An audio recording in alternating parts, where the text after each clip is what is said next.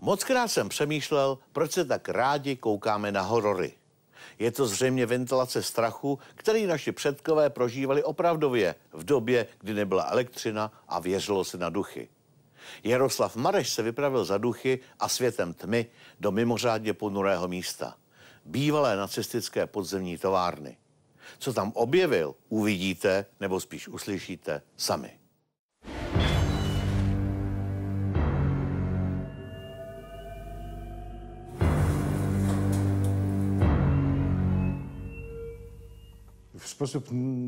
Stávají se tady takové situace, které je těžko popsat. Prapodivně se tu chovají kamery, fotoaparáty, všechny elektronické přístroje.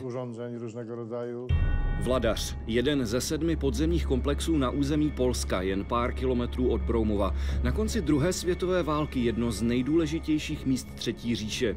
Byla tady rula, velmi tvrdý materiál, který odolával těm nejsilnějším bombám druhé světové války. Byla tady spousta, spousta inženýrů, chytrých lidí, k tomu největší elektrárna v okolí. Pracovali a umírali zde desítky tisíc vězňů a dodnes se tu přidějí podivné věci. Nejzajímavější svědectví přinesly polské speciální jednotky, které v podzemí cvičí přežití v izolaci. Byly to protiteroristické jednotky, tvrdí chlapi. Vyšli ven a tvrdili, že viděli různé postavy. Byl tam s nimi psycholog. Znám ty lidi a vím, že si žádné žerty nedělali. V opuštěných chodbách se prý ozývají kroky a hučení důlních vozíků. Po stěnách se míhají průvody stínů.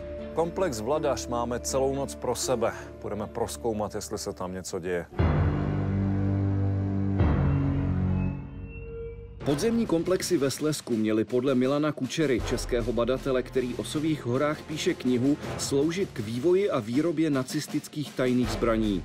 Jedna záležitost, že tedy to říš, řešil generál Kamler a druhá, že tato stavba měla přednost ve všech dodávkách. Nebyla omezena na konci války v ničem. V cementu, v lidech, v ničem.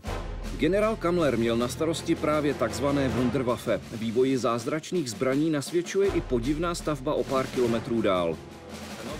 Objekt, kterému říkáme Mucholapka, sloužil Němcům jako zkušební poligon na tajné zbraně. Pravděpodobně létající talíře měl sloužit jako základna takzvaného zvonu Třetí říše.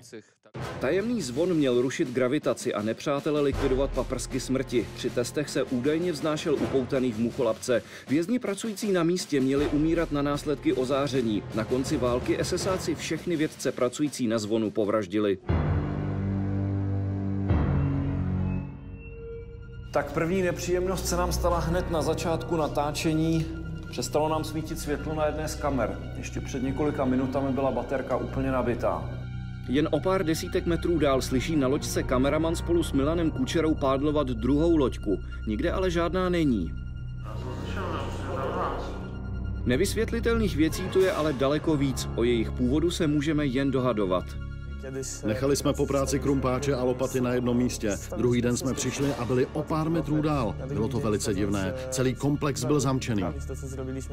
Kolegové popisují na některých místech nepříjemné pocity. Podivně se chová i měřič elektrostatického náboje. Kolem třetí hodiny ráno se podívám do jedné z opuštěných neosvětlených chodeb. Hele, vidíte to tam? Pojďte se kouknout. Vidíš to? Z temné chodby na nás koukaly žluté svítící oči. Zmizely, jakmile jsme na ně zamířili kameru. Jdeme se tam podívat. Dosud objevené chodby jsou ale pravděpodobně jen zlomek celého podzemního komplexu. Dá se předpokládat, že by se zde dalo ještě něco najít. Například objekt Rüdiger, který do dneška jako nebyl nalezen. Někde pod těmito kopci se tak možná ukrývají dílny na tryskové letouny, pozůstatky laboratoří vyvíjejících paprsky smrti nebo dokonce nacistické UFO, létající disky Haunebu. V chodbě, odkud nás něco sledovalo, jsme nic neobjevili, je částečně zatopená. Že by se do ní dostalo nějaké zvíře, průvodci vylučují. Nakonec jsme se rozhodli, že se rozdělíme a s Milanem Kučerou se do opuštěné chodby vrátíme ve dvojici. Ty tam něco vidíš? Já tam teda vidím postavu, jdeme dál. Postava ani svítící oči se nám už neukázaly. Pak se ale ozval podivný zvuk. Slyšíš to? Jo.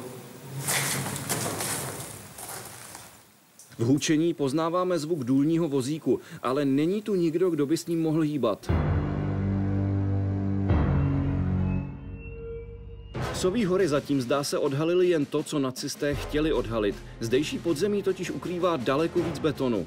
Když spočítáme všechno to, co si napsal říšský ministr hospodářství Albert Šper do svého deníku, eh, tak se prostě na toho čtvrt milionu kubíků betonu nedobereme. Tady je ho spotřebováno daleko méně. Klíč k rozluštění záhady komplexu Vladař tak zdá se ukrývá jediná vybetonovaná chodba. Podle teprve nedávno objeveného nápisu zde matka schovala své další dítě. Jako by se hora bránila tomu, aby její tajemství vyšlo někdy ven. Beton v jednom místě skutečně nemá kovovou armaturu. Další pátrání po pečlivě ukrytém tajemství bude pokračovat právě tady.